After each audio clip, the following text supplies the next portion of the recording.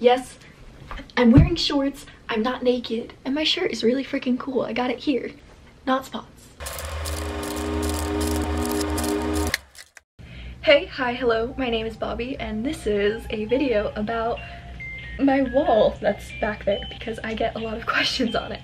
If you're new here, hey, what's up? How's it hanging? And if you're coming back, yes, I did cut my hair. a lot of you probably know about my last hair video, so if you guys want a new one with actual short hair, um, please comment down below and let me know, because I have some pretty cool ideas. You guys always ask for a room tour, which I would love to do, but um, my room is a mess. Like, uh, a mess.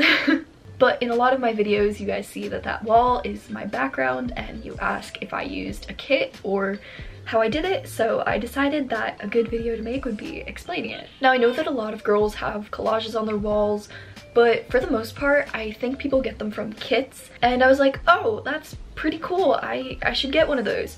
And then I realized that they're expensive, and I was like, whoa.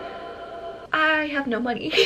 so I improvised. So to answer that first question, no, my collage is not made from a kit. Kits are absolutely totally cool and if you like that, go for it. I think they're really cute, but it was kind of hard to find one that went with my room and my style. So I sort of found that putting together images and little thingies that I, I collect actually worked a lot better. So if you want to make it a little bit more individual, this is definitely a great option for you and it's definitely not as expensive as buying one of those aesthetic kits. If this is something that you want to do for your room, I definitely suggest starting a box of things that you collect. I have this big old thing that's filled with like random wrappers and Polaroids and just, I don't even know. Some of my favorite things to save are like concert wristbands and patches and notes from your friends because those are really great things to keep. Also, I know a lot of people wouldn't think of this, but a lot of companies send really cute packaging and just little things that you could put. Like this little Ford thingy came from a pair of socks that I'm actually wearing. Also, old books make for great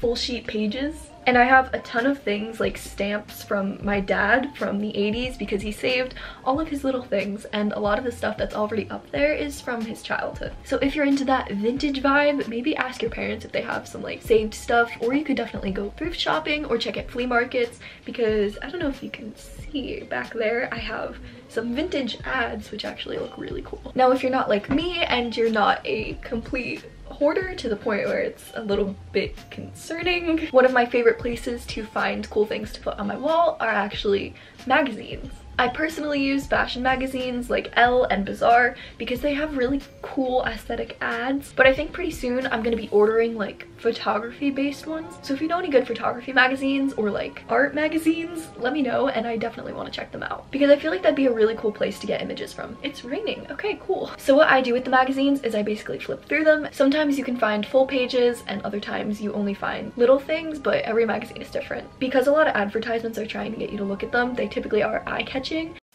Oh, my camera died. As I was saying, it's gonna take some time, but in my opinion, it's really worth it because it looks freaking cool in the end. I don't know what that was. Ah. I know that this is sort of like a self-explanatory kind of project. I mean, like, you cut out pictures, yeah, you put them on your wall, you know?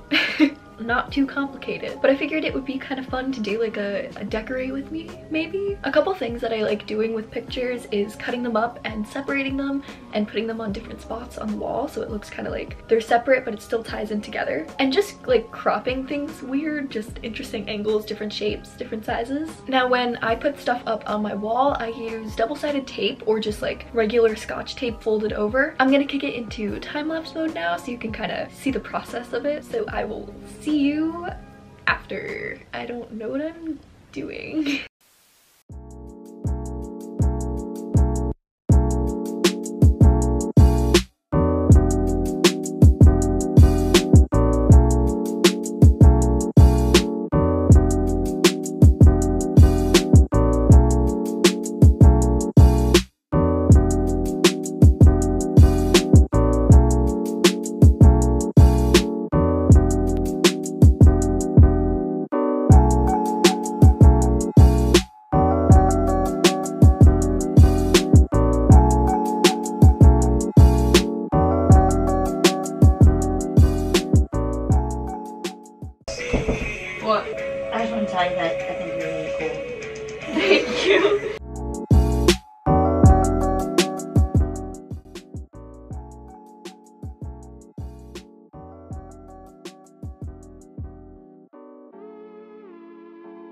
Hopefully this video helped. I know that a couple of you wanted to know how I did this. If you guys want more stuff like this, please let me know and just give me video ideas because now I'm back to filming and I missed it and I want to make a million videos. So seriously, whatever you want, comment down below and I'll see if I can try it. This hurts my arm.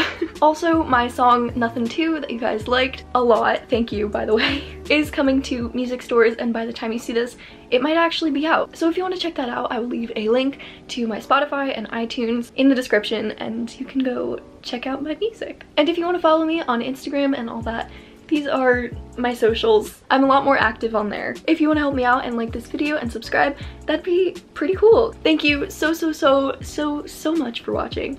And I hope you have a lovely night or day or weekend or whatever time it is when you're watching this. I love you all so much and goodbye.